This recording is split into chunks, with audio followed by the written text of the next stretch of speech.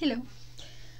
Okay, since uh, today is the um, 31st of January 2024, and since St. Valentine's Day is not very far off, and I had started telling you uh, stories, some stories from uh, Greek mythology, and in the last video I told you about Hercules and Dionysus and so on, I thought that it would be a very good idea to tell you the story of Cupid and Psyche. Cupid was, in the Greek, was uh, the uh, Eros, the god of love, and Psyche means the soul uh, in Greek.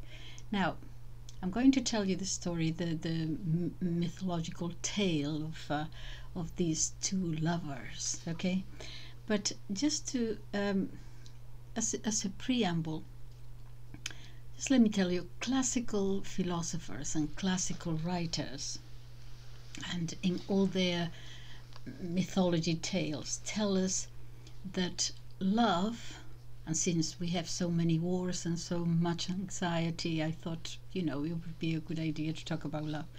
Love, they said, they say in, in, in rather romantic terms, has the power to hurt and wound our souls.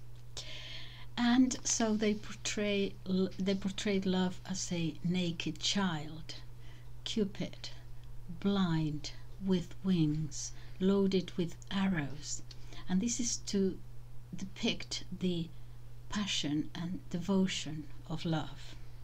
So, why do they depict uh, love as a child? Because they want to say that those in love mirror, let us say, as much discretion or prudence as a child.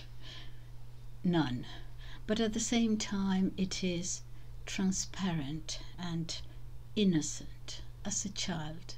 Pure love yeah? Why does it have wings? Because they say it is with great fleetness that lovers make themselves visible to their beloved. Love is never uh, tardy to get going. Why blind because although it has a mind of its own to begin with, it does not depend on reason. And why does this naked child uh, carries uh, uh, bow and arrows? Ah, you see, because it shoots from afar and raising passion, and it shoots from afar straight into the heart, they say, because, like that of an arrow, love's piercing is clean and direct. We're talking about pure love, yeah. but the pain it produces is deep and intense.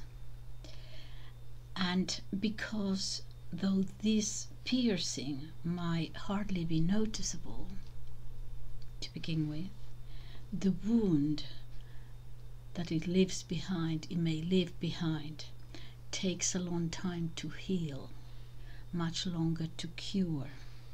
Remember that song, that French song, Plaisir d'amour, okay? The refrain is always the joy of love. It's brief, might be brief, but the wound that leaves behind may last a lifetime. Okay, so through uh, or by means of these tales in mythology, they are teaching us about love. So I'm going to read you the story. It's a cute story, lovely story about it's a story of love and adventure.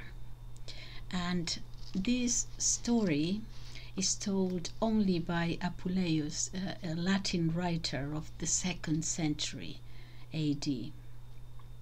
Uh, it is uh, much older than that. It's a prettily, uh, prettily told uh, told tale. After it, he, he says it in the manner of Ovid, really.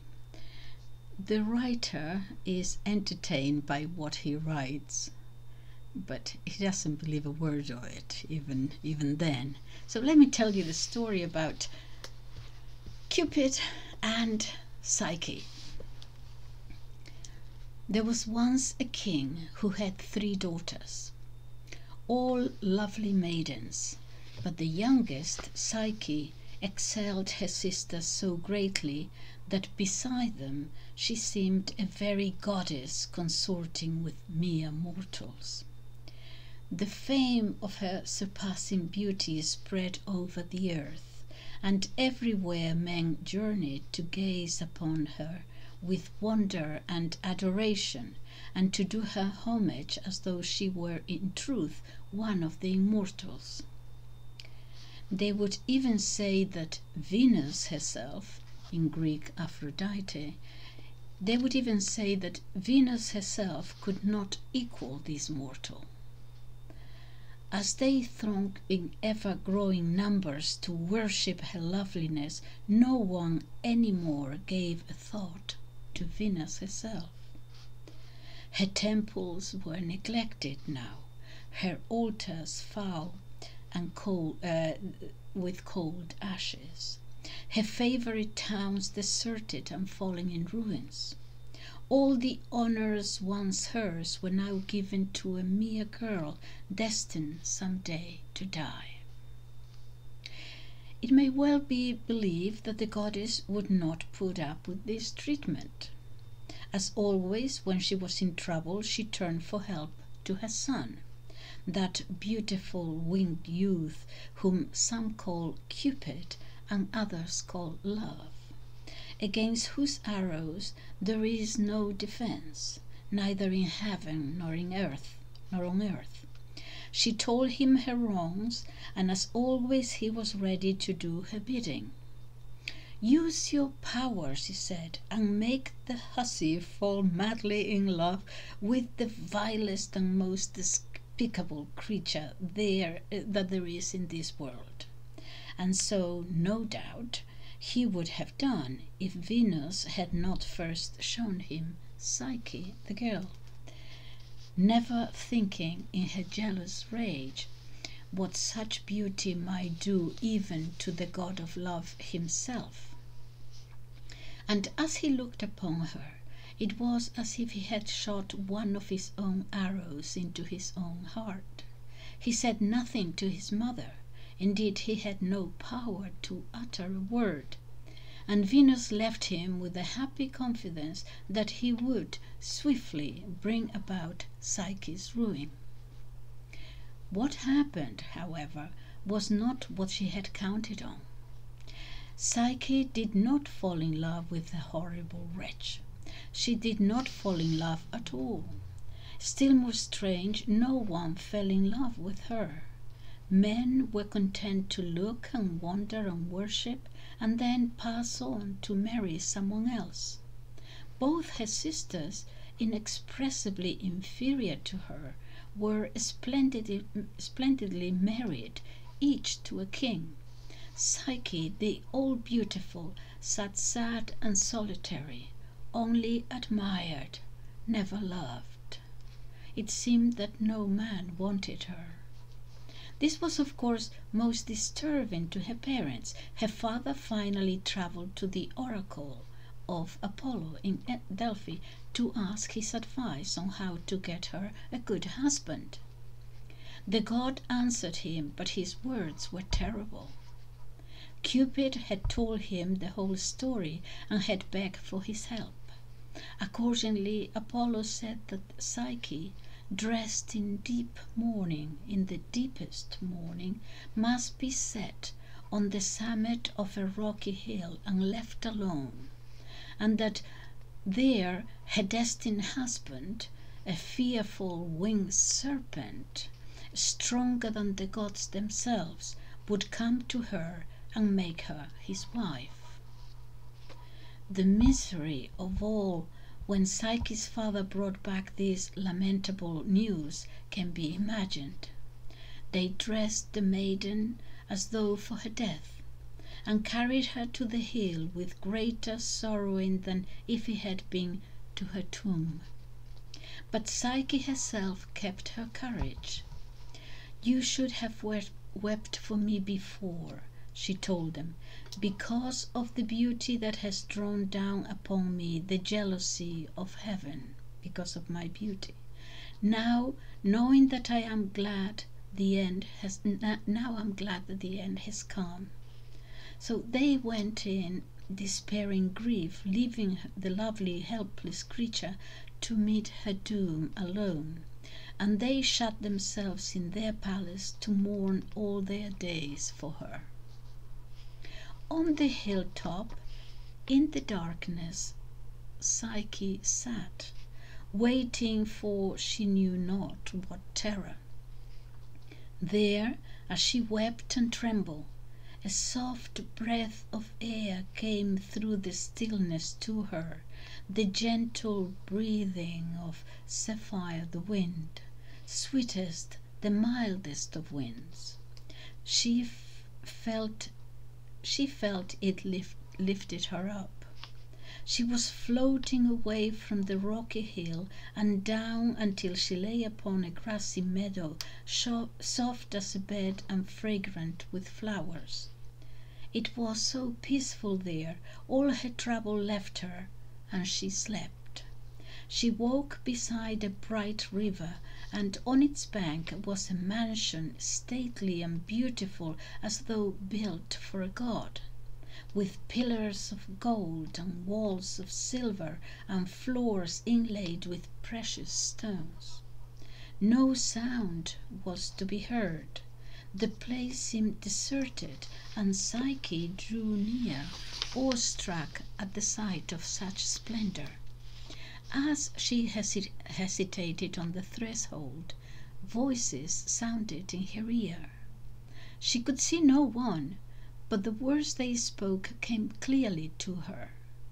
The house was for her, they told her. She must enter without fear and bathe and refresh herself. Then a banquet table would be spread for her.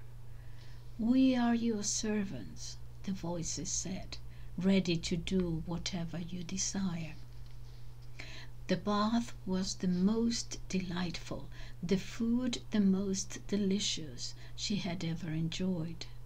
While she dined, sweet music breathed around her. A great choir seemed to sing to a harp, but she could only hear, not see them. Throughout the day, except for the strange companionship of the voices, she was alone but in some inexplicable way she felt sure that with the coming of the night her husband would be with her. And so it happened. When she felt him beside her and heard his voice softly murmuring in her ear, all her fears left her.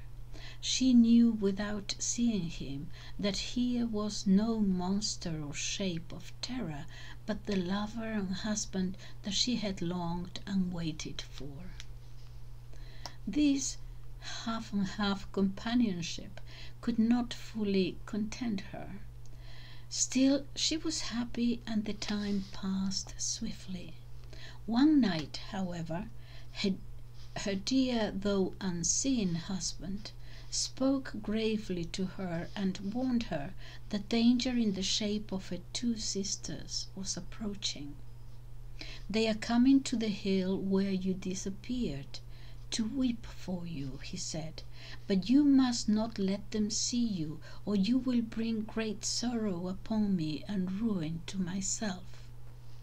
She promised him she would not, but all the next days she passed in weeping, thinking of her sisters and herself, and unable to comfort them. She was still in tears when her husband came, and even his caresses could not check them. At last he yielded sorrowfully to her great desire. Do what you will, he said, but you are seeking your own destruction. Then he warned her solemnly not to be persuaded by anyone to try to see him. on pain of being separated from him forever. Psyche cried out that she would never do so. She would die a hundred times over rather than live without him. But give me this joy, she said, to see my sisters.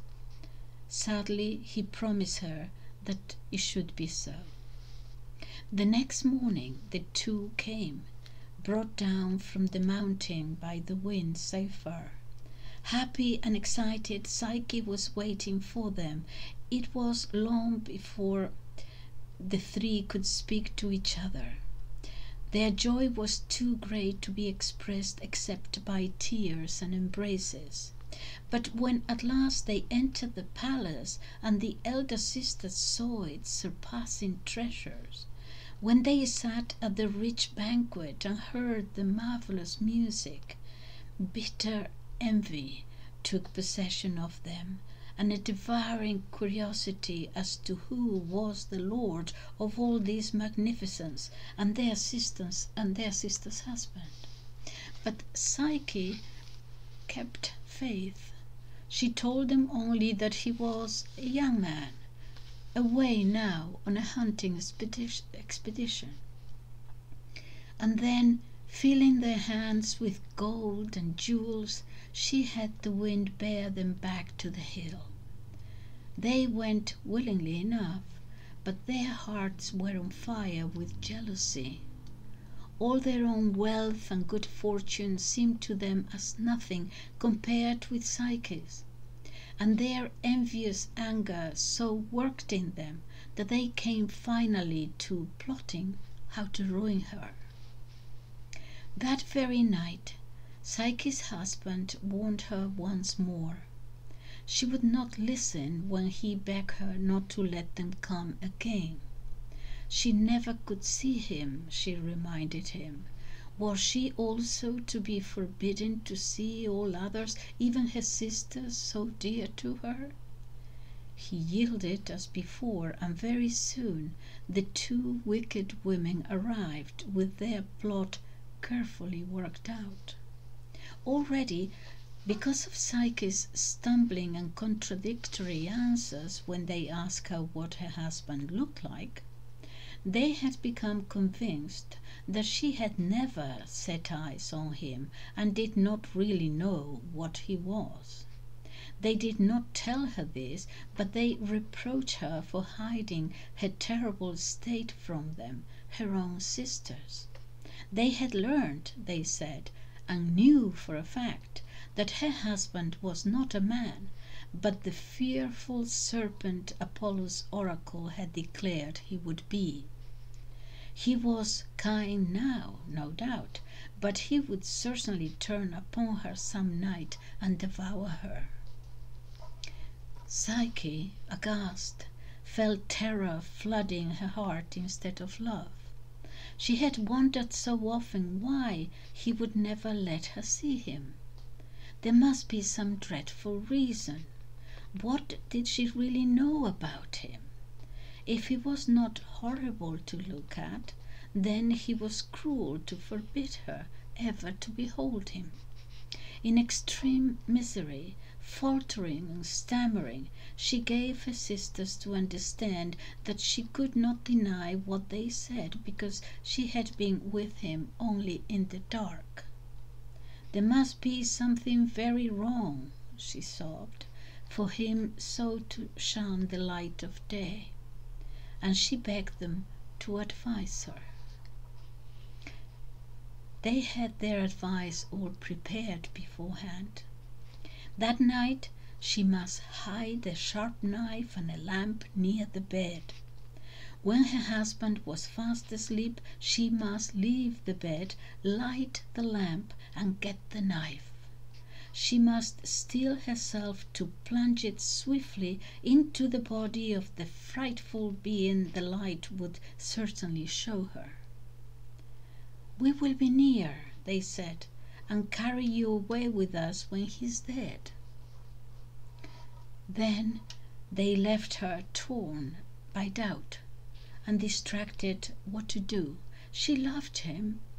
she was her, he was her dear husband. No, he was a horrible serpent, and she loathed him. She would kill him. No, she would not.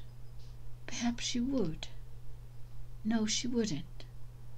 She must have certainty. She did not want certainty. So all day her thoughts fought with each other, and when evening came, however, she had given the struggle up. One thing she was determined to do. She would see him. When at last he lay sleeping quietly, she summoned all her courage and lit the lamp.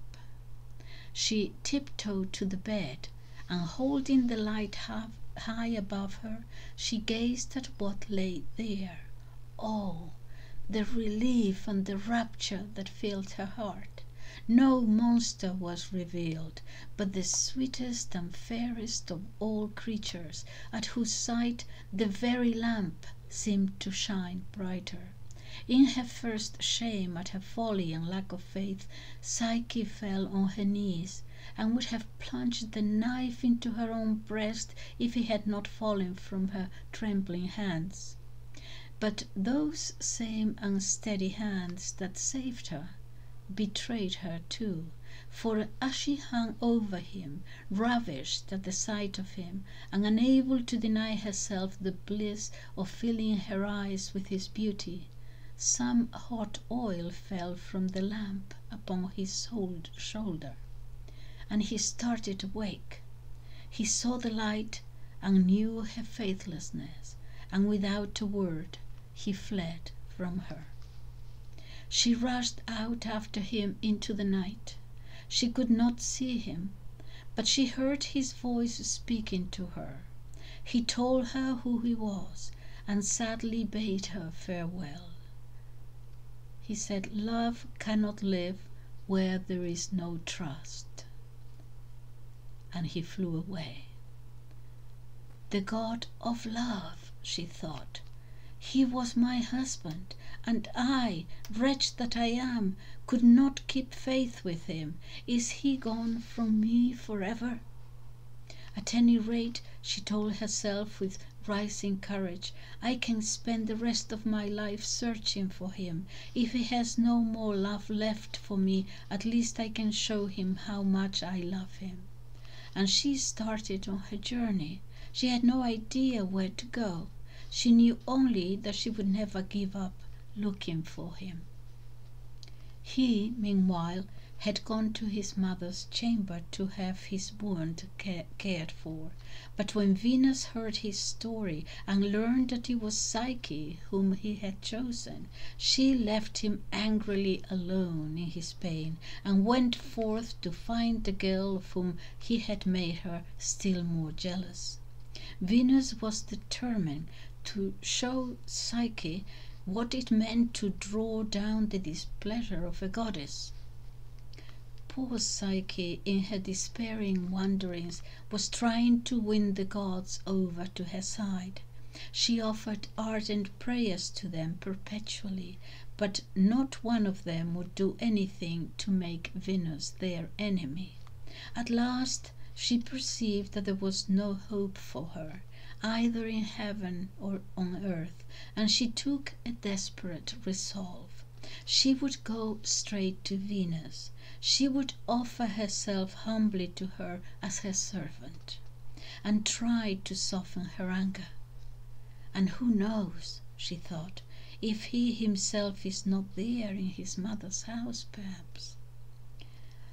So she set forth to find the goddess who was looking everywhere for her herself. When she came into Venus' presence, the goddess laughed aloud and asked her scornfully if she was seeking a husband, since, since the one that she had had would have nothing to do with her because he had almost died of the burning wound she had given him. But really, she said, You are so plain and ill favored a girl that you will never be able to get you a lover except by the most diligent and painful service. I will therefore show my goodwill to you by training you in such ways." And with that she took a great quantity of the smallest of the seeds, wheat and poppy and millet and so on, and mixed them all together in a big heap. "By night these must all be sorted," she said. "See to it for your own sake." And with that she departed. Psyche, left alone, sat still and stared at the heap. Her mind was all in a maze because of the cruelty of the command, and indeed it was of no use to start a task so manifestly impossible.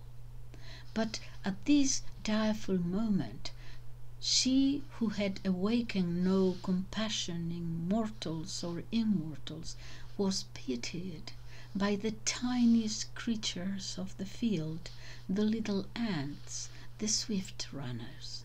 They cried to each other, "Come, have mercy on this poor maid, and help her diligently." At once they came, waves of them, one after another, and they labored separating and dividing until what had been a confused mass lay all ordered, every seed with its kind. This was what Venus found when she came back, and very angry she was to see it. "Your work is by no means over," she said, and then she gave Psyche a crust of bread and bade her sleep on the ground while she herself went off to her soft, fragrant couch. Surely, if she could keep the girl at hard labor, and half starve her too, that hateful beauty of hers would soon be lost. Until then she must see that her son was securely guarded in his chamber, where he was still suffering from his wound. Venus was pleased at the way matters were shaping. The next morning she devised another task for Psyche, this time a dangerous one. "Down there near the river bank," she said, "where the bushes grow thick are sheep with fleeces of gold. Go fetch me some of their shining wool." When the worn girl reached the gently flowing stream, a great longing seized her to throw herself into it and end all her pain and despair. But as she was bending over the water she heard a little voice from near her feet and looking down saw that it came from a green reed. She must not drown herself, it said. Things were not as bad as that.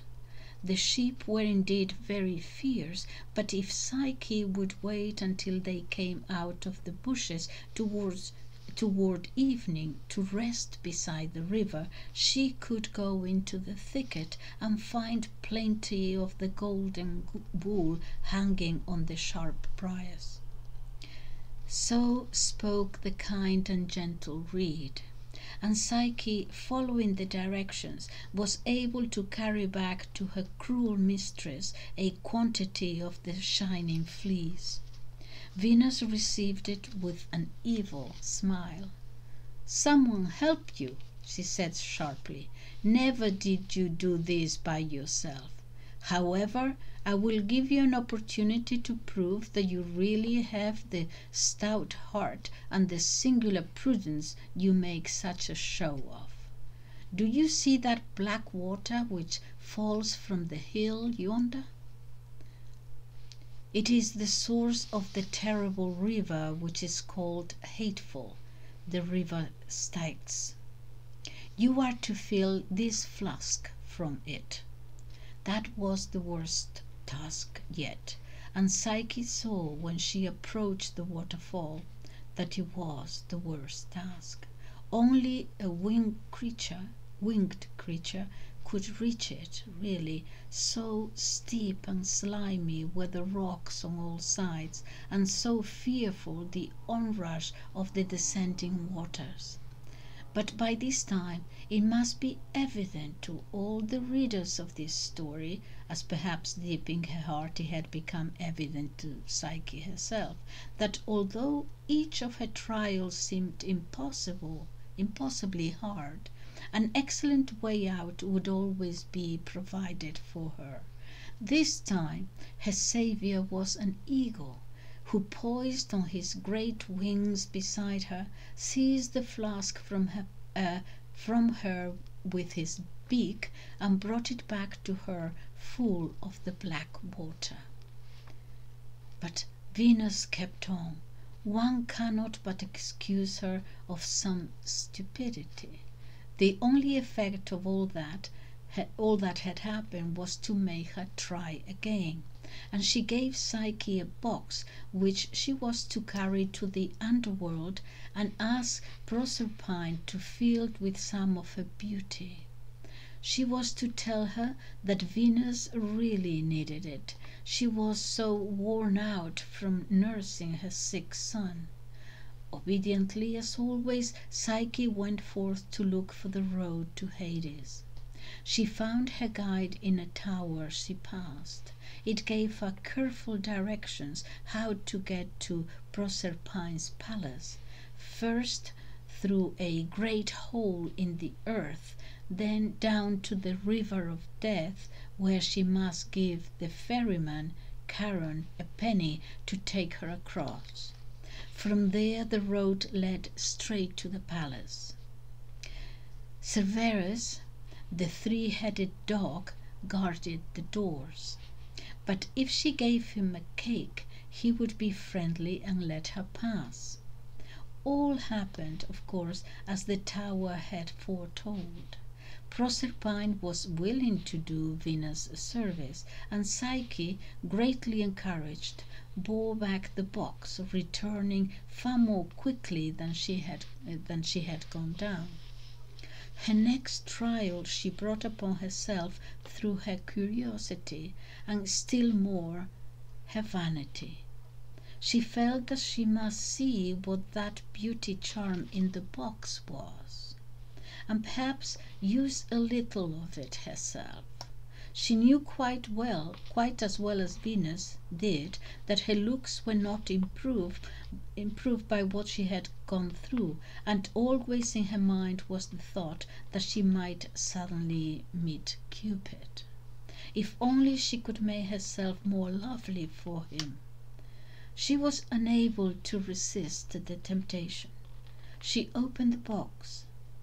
To her sharp disappointment, she saw nothing there.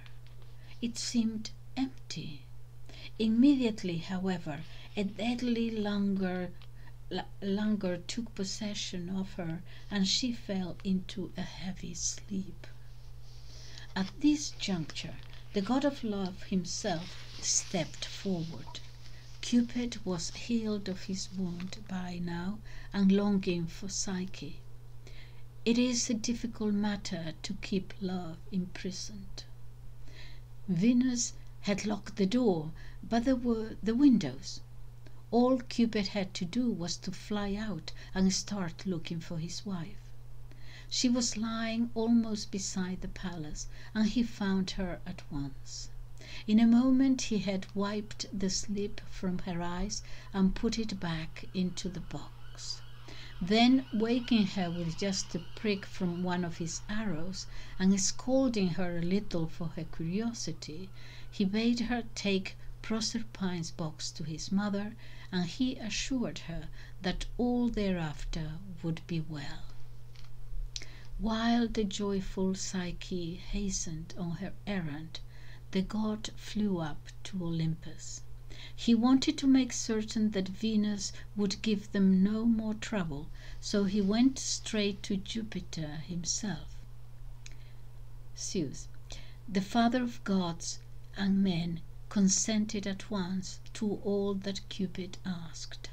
Even though he said, You have done me great harm in the past, seriously injured my good name and my dignity by making me change myself into a bull and a swan and so on. However, I cannot refuse you."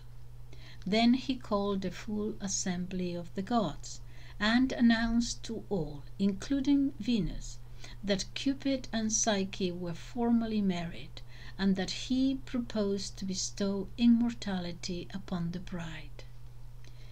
Mercury brought Psyche into the palace of the gods, and Jupiter himself gave her the ambrosia to taste, which made her immortal. This, of course, completely changed the situation. Venus could not object to a goddess for her daughter in law. The alliance had become eminently suitable. No doubt she reflected also that Psyche, living up in heaven with a husband and children to care for, could not be much on the earth to turn men's heads and interfere with her own worship. So all came to a most happy end. Love and the soul, for that is what Psyche means, had sought and, after sore trials, found each other, and that union could never be broken. Let me show you the lovely. Um, this is Psyche gazed at the sleeping Cupid. See? This is Cupid here. Wow! okay. That's Cupid sleeping and Psyche there. Okay, so this is my story for today love and the soul and all that sort of thing. So think about it and tell me in the comments what you think of it. What do you think it all means? Bye bye.